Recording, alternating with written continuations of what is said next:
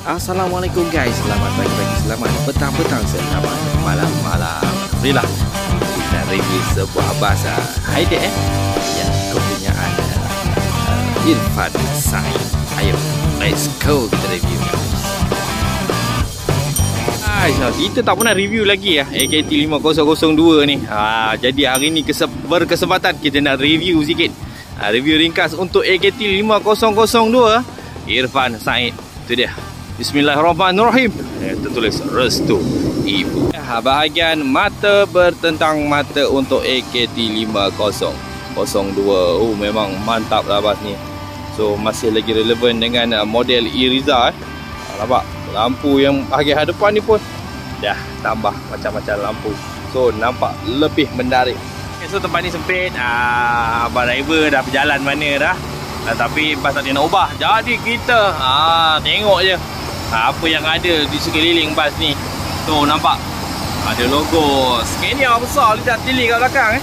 Ah, ni dia rim. Ah, rim kotor sikit lah pagi pagi tadi hujan katanya tapi yang penting guna pak rim Alqua guys. Berkilat merecik ha, cuma tak tak kilat sikit lah ada habuk-habuk kan. Ha, sebab kena banjir ke apa bagi tadi. So bahagian hadapan juga ha, menggunakan rim uh, Alqua ataupun rim baru guys. So nampak?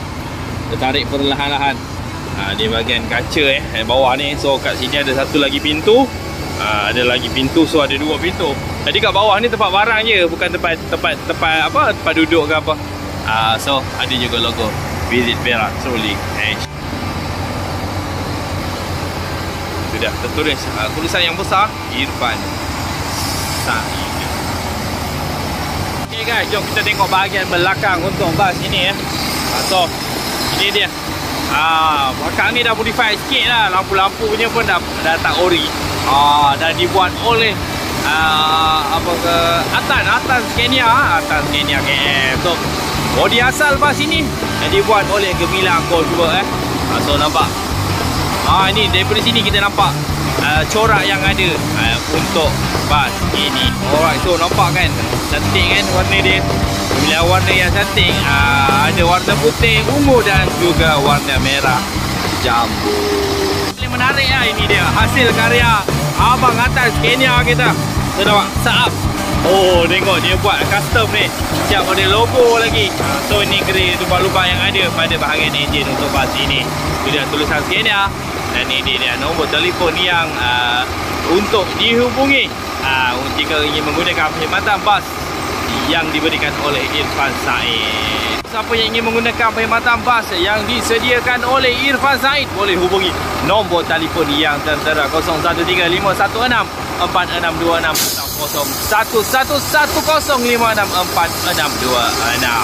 boleh pilih guys. Uh, nak high deck nak double deck? Nak single deck? Insyaallah halo saja. Halo halo halo. Alright guys. Jom kita tengok interior untuk bas high deck ni ya ha, so kalau pada pada ni kita ada buat review. Jadi saya akan letakkan link untuk uh, tengok uh, untuk bas yang dua tingkat ni. So jom kita masuk kat dalam uh, bas high deck ini guys. So high deck ini dibuat oleh Gemilang Boschwa. Bismillahirrahmanirrahim. So ini dia bahagian uh, tempat duduk pemandu eh. Uh, so tempat seat dia berwarna biru.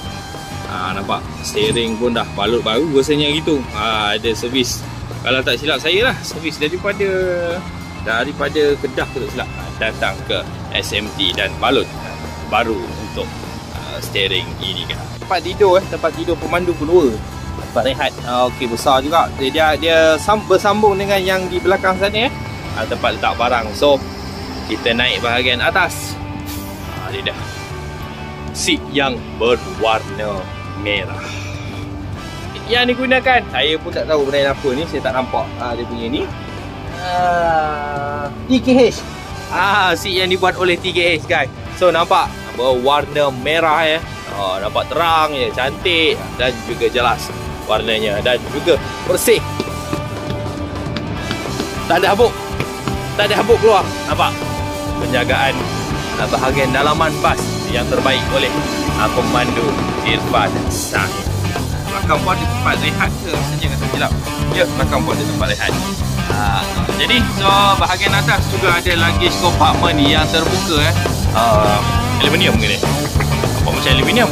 Ha, so siapa yang ingin menggunakan perkhidmatan bas yang disediakan oleh Irfan Said ni, terutamanya bas ni, ha, bolehlah tuan-tuan uh, dan puan-puan letakkan barang-barang peribadi tuan-tuan di bahagian atas ini insya-Allah. So, nampak itu tempat aircon, lower aircon.